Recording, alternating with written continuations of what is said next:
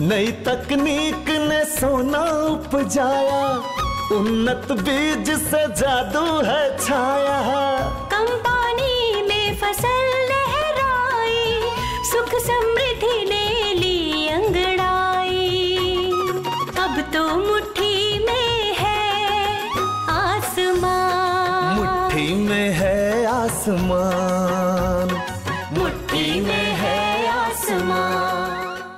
कृषि अनुसंधान संस्थान कैसे किसानों के लिए वरदान साबित हो रहे हैं, ये तो आप जानते ही हैं।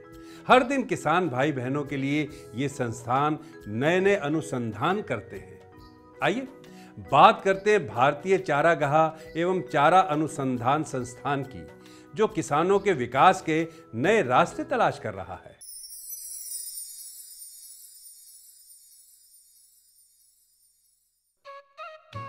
हमारे देश में अपार पशु संपदा है। द्वार पर बंधी गाय हमेशा समृद्धि की प्रतीक मानी जाती है। पशुपालक का एक ही सपना होता है कि हर आँगन में एक गाय हो और वो भी ऐसी जो अधिक दूध देती हो। विभिन्न प्रकार की घासों के लिए प्रसिद्ध वीरांगना महारानी लक्ष्मीबाई की ऐतिहासिक नगरी झांसी में भारत सरकार ने उन्नीस सौ बासठ में चरागाह एवं चारा उत्पादन पर अनुसंधान के लिए भारतीय चरागाह एवं चारा अनुसंधान संस्थान की स्थापना की।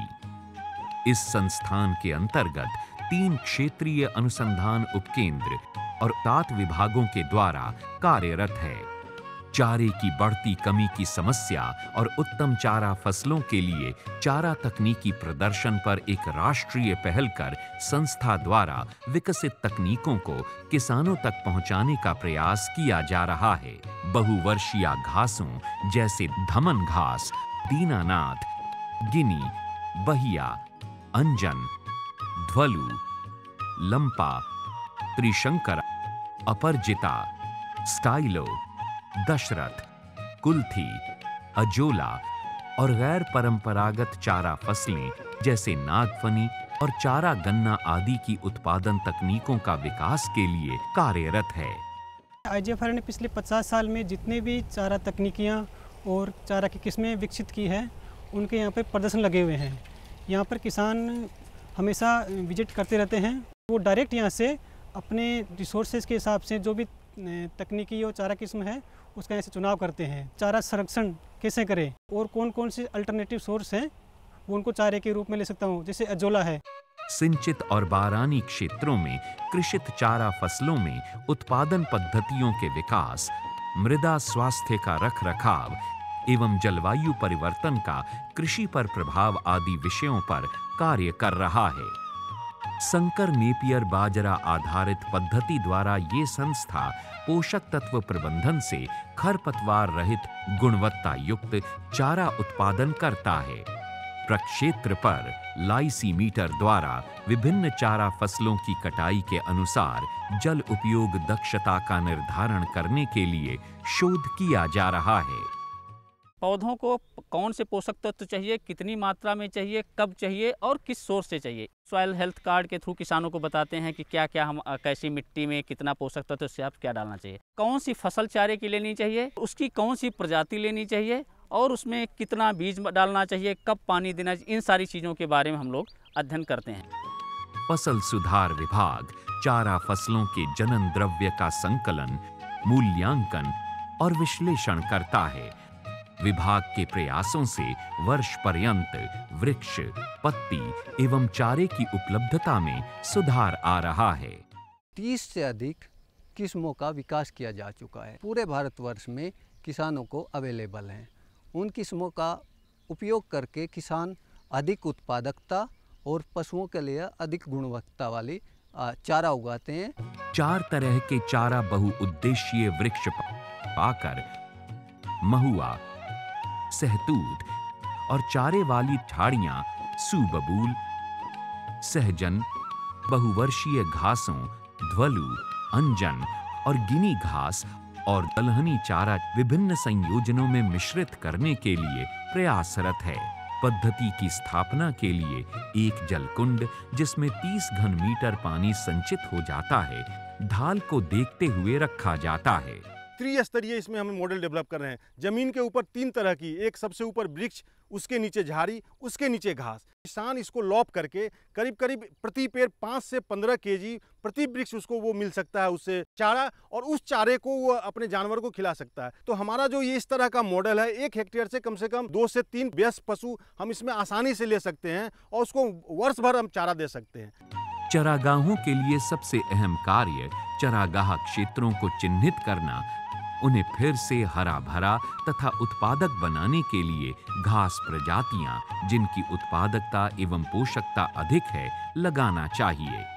हर हरी चीज़, घास, चारा नहीं होती। चारा के लिए वो ज़रूरी है जिसमें पोषक तत्व तो हों।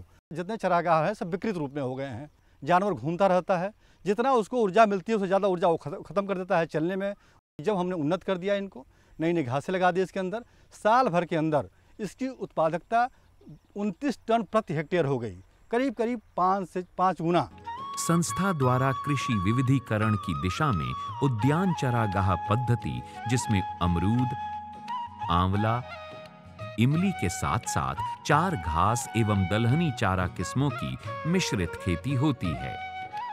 पशुओं के लिए पेड़ के पत्ते और झाड़ियों के साथ घास के आहार संयोजनों के विभिन्न प्रकारों के लिए रणनीतियों का विकास किया गया है। चारा संरक्षण के ऊपर यहाँ पर काफ़ी बृहद स्तर पर कार्य किया जा रहा है और इस कार्य को करने के लिए इस विभाग में गाय, भैंस, भेड़ों, बकरियों को रखा हुआ है। लगभग साढ़े तीन सौ के आसपास पशु हैं यहाँ पर। भैंसों में भदारी नस्ल की एक भैंस के ऊपर संरक्षण और सुधार का कार्यक्रम भी चलाया जा रहा है। पशुओं को उचित पोषण प्रदान करने के लिए उन्हें फ़सल अवशेषों के साथ साथ पैलेट भी उनके राशन में शामिल किया जाता है। सुबुल की पत्तियों को, पशुओं को खिलाने के लिए लीफ मिल बनाने की विधि, ये खास तौर से हमारा विभाग इस समय काम कर रहा है, जिससे कि पशुओं को उस समय अच्छा पोषण मिल जाए, जिस समय खास तौर से चारे की कमी होती है। बीज तकनीकी विभाग गुणवत्ता युक्त चारा बीज उत्पादन के विभिन्न पहलुओं पर अनुसंधान करने के साथ साथ लाभप्रद बीज उत्पादन की तकनीकियों को विकसित करता है। संस्थान के वैज्ञानिक अंगीकृत आदर्श चारा गाँव में किसानों के प्रक्षेत्र पर प्रदर्शन, किसानों की क्षमता विकास तथा तकनीकी हस्तांतरण और किसानों की जीविका उठान के लिए प्रयासरत है।